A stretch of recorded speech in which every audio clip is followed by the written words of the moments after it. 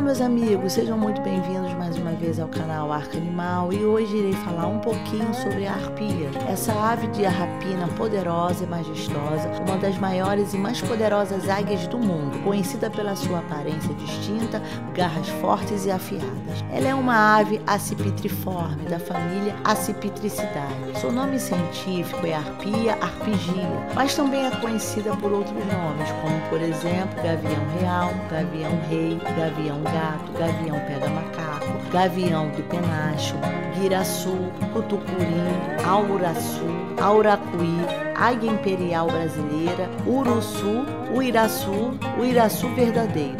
Embora a arpia não seja a maior águia do mundo, ela é a mais forte e poderosa com seu bico potente e suas enormes garras. É uma caçadora inativa, suas garras são maiores do que a do urso pardo americano. Suas pernas têm a grossura de um punho de um homem adulto. Ave encontrada nas florestas tropicais da América Central e do Sul, é a maior ave de rapina brasileira, mede entre 90 centímetros a 1,5 metro de comprimento e sua envergadura pode atingir mais de 2 metros.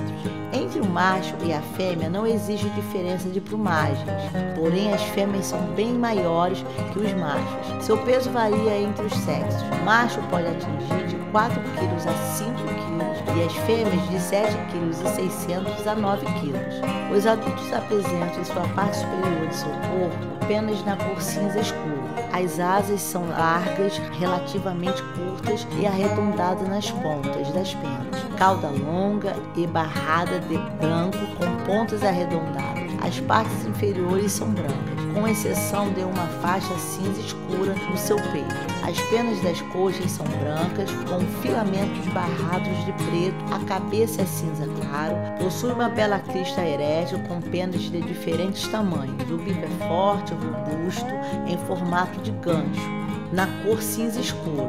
Os olhos marrons escuros, pernas e pés amarelos. Os pés são fortes e robustos, com longas e afiadas garras que podem atingir de 8 até 12 centímetros de comprimento. Isso é claro dependendo do sexo e tamanho das aves. Os filhotes possuem as plumagens da coloração cinza claro e branco, tornando mais escuras conforme eles vão atingindo a fase adulta, fase que leva em média de 4 a 5 anos. A época de reprodução dessas aves é entre setembro a novembro. Elas fazem seus ninhos no alto das árvores mais altas, como por exemplo castanheiras, sulmalmeiras e de lá elas observam tudo que está ao seu redor. O ninho é grande, com uma circunferência de mais ou menos um metro, construído com pilhas de galhos. A fêmea põe em média dois ovos na cor cinza esbranquiçado, esse pesando em média 110 gramas. O período de incubação é de 52 até 60 dias. Geralmente apenas um filhote sobrevive.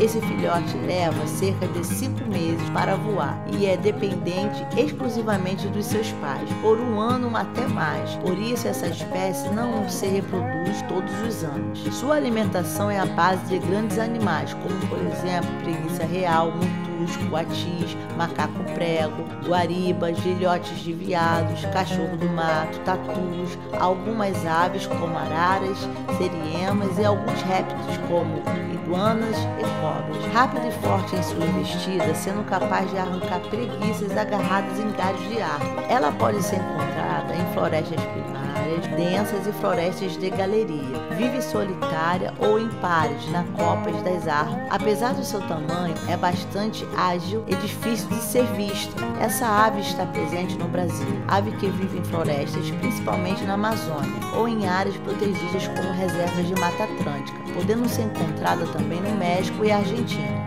A árpia é uma espécie monotípica, isto quer dizer que não são reconhecidas subespécies dessa ave. Infelizmente, a árpia está desaparecendo de algumas regiões da Amazônia em consequência de desmatamentos devido à intervenção humana e também, infelizmente, por caçadores. Uma ave desse porte pode viver até 50 anos. E esse foi o vídeo de hoje. Espero que tenham gostado e se gostou, não se esqueça de deixar seu like. Muito obrigado por ficar até aqui. Até o próximo vídeo.